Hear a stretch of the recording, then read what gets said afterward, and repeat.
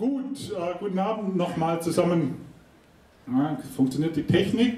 Ja, wir gehen jetzt mal in die Stadt Paris und zwar etwa 200 Jahre zurück, frühes 19. Jahrhundert. Damals haben die Behörden in Paris Aufenthaltsgenehmigungen ausgegeben für ausländische Mitbürger.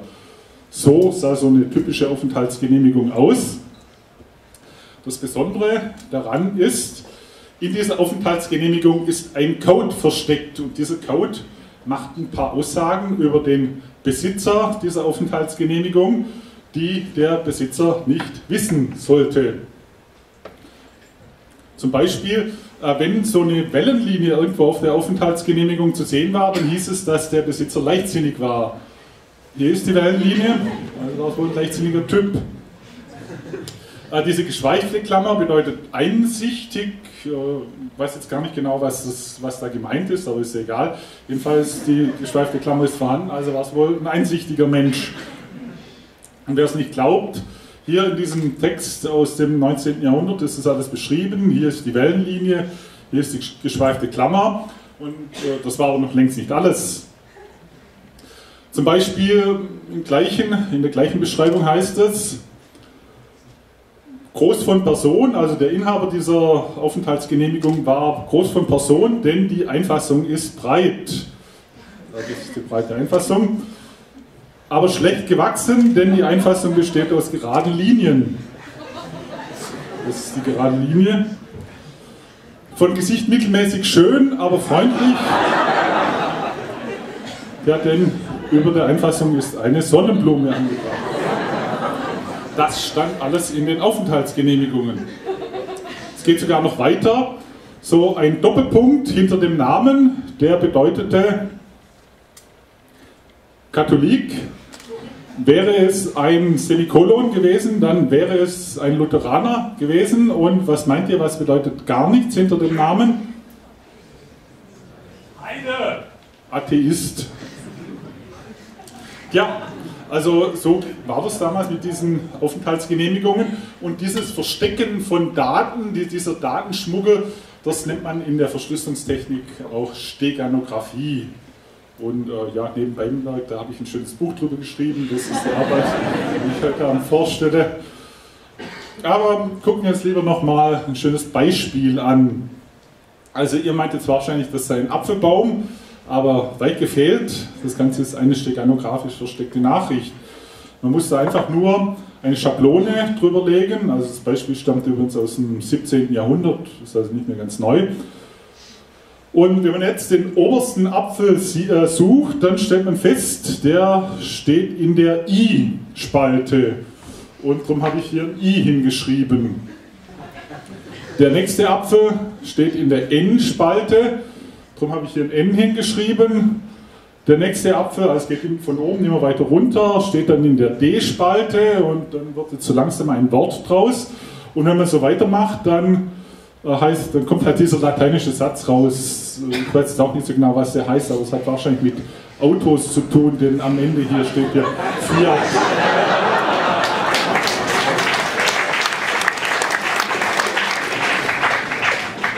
Geht ja nur ums Prinzip, also da war in einem Baum eine Nachricht versteckt. Das heißt, schon im 17. Jahrhundert kannte man die Steganographie. Oder ein etwas neueres Beispiel, das hier ist eine Werbeanzeige aus der Zeitschrift New Yorker aus dem Jahr 1941. Wenn wir uns jetzt die Anzeige etwas genauer angucken, das ist eine Anzeige für ein Würfelspiel. Also sind zwei Würfel drauf abgebildet, das ist jetzt nicht besonders spektakulär.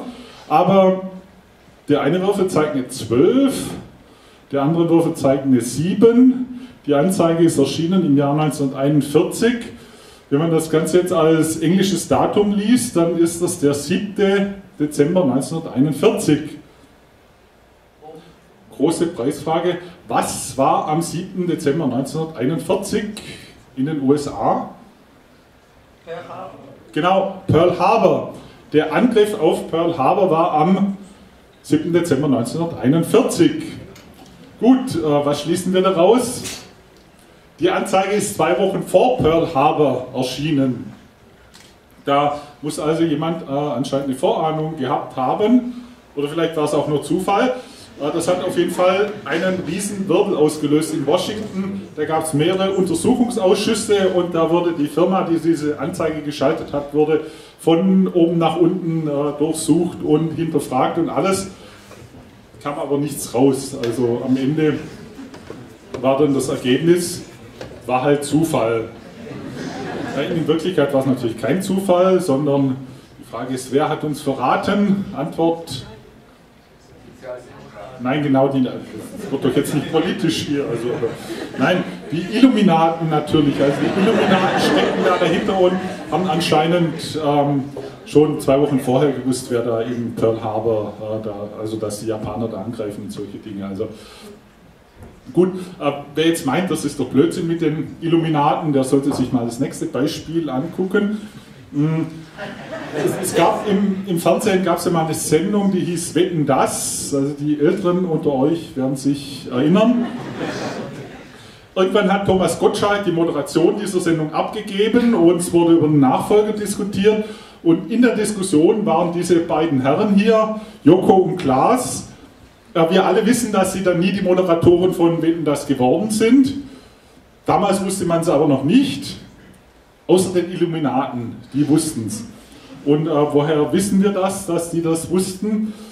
Ja, man muss sich halt nur mal die geheime Botschaft angucken, die da versteckt ist in diesem Bild. Äh, wir haben da diese zwei Würfel und zählt man diese Seiten zusammen, kriegt man die äh, Zahl 12, entspricht dem Buchstaben M im Alphabet. Wenn man das hier zusammenzählt, dann hat man den Buchstaben L. Und was, woran denken wir bei ML? Natürlich Markus Lanz und der wurde dann tatsächlich der nächste Moderator von das. Und wer jetzt immer noch nicht an die Illuminaten glaubt, der ist selber schuld. Gut, also spätestens jetzt kommen wir zu dem Teil des Vortrags, der für Jugendliche unter 18 Jahren nicht geeignet ist. Hm, dabei geht es eigentlich nur um eine Flasche Cola oder halt um, um eine Abbildung von einer Cola-Flasche in einer australischen Werbeanzeige. Wenn man die Flasche jetzt ein bisschen vergrößert, oder halt äh, nicht die Flasche, sondern die Werbung, und wenn man diesen Ausschnitt noch ein bisschen vergrößert, und wenn man jetzt genau hinguckt, dann da sieht man, warum sich der Zeichner äh, anschließend eine neue Stelle suchen musste. Der Grafiker verstand nämlich ein bisschen was von Steganographie und hat es vielleicht etwas ungeschickt angewendet. Aber gut, also die Jugendlichen können jetzt wieder reinkommen.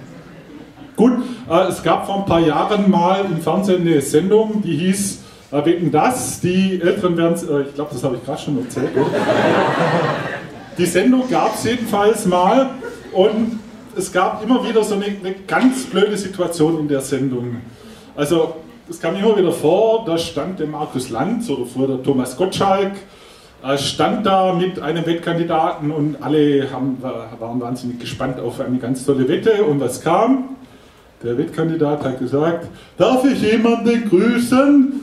Und dann hat er halt gegrüßt die Oma und den Opa und den Hund und äh, sowas geht natürlich nicht. Also wenn man jemanden grüßen will in einer Fernsehsendung, dann bitte schön steganografisch.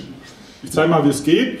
Äh, nehmen wir mal an, ich wette, ich kann, sagen wir mal, mit, mit drei Bällen jonglieren äh, eine halbe Minute lang. Das reiche ich jetzt bei Wetten das ein. Und jetzt nehmen wir an, ich will jemanden grüßen. Also diesen Rhetorikclub, wo ich immer meine Reden übe, da, die kann man ja ruhig mal grüßen in das Fernsehen, das sollte ja wohl erlaubt sein. Aber natürlich steganografisch und im Grunde reicht es ja, wenn ich die ersten, äh, wenn ich die vier Buchstaben nehme. Und als Informatiker kann ich die Buchstaben ja jederzeit in eine Folge von Nullen und Einsen umwandeln.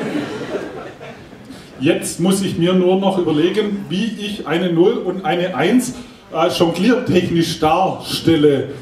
Äh, ich habe mich dann dafür entschieden, dass ich es so mache. Also immer wenn ich einen Ball nach äh, innen abwerfe, ist das eine 0 und wenn ich einen Ball nach außen abwerfe, dann ist es eine 1. Und wenn ich jetzt diese vier Buchstaben übermitteln will, dann sieht das so aus.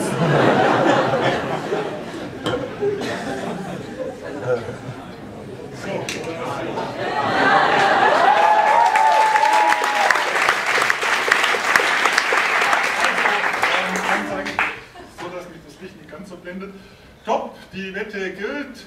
1, 0, 0, 1, 0, 0, 0, 0, 1, 1, 1, 0, 1, 0, 0, 0, 0, 0, 1, 0.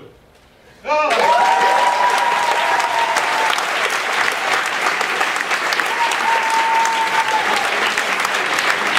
Also, also ich würde sagen, Wette gewonnen und Grüße übermittelt, also besser geht's doch nicht.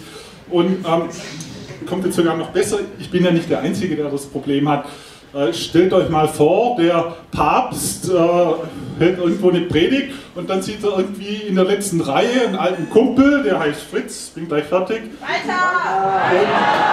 Und, da kann er jetzt nicht sagen, hallo Fritz, sondern da muss er das steganografisch machen und es gibt schon aus dem 16. Jahrhundert eine steganografische Methode, in der man einfach jeden Buchstaben durch ein lateinisches Wort ersetzt, das in einem Gebet vorkommen könnte. Äh,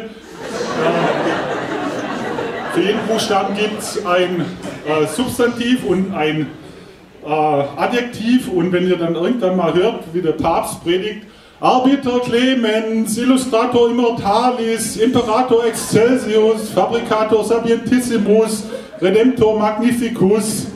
Dann heißt das, hallo Fritz. Gut, und damit bin ich dann am Ende. Das ist das letzte Beispiel. Das ist ein steganografischer Grabstein. Da gibt es eine schöne Inschrift und wenn man die Inschrift etwas genauer anguckt, dann... Ja, gut, Dankeschön.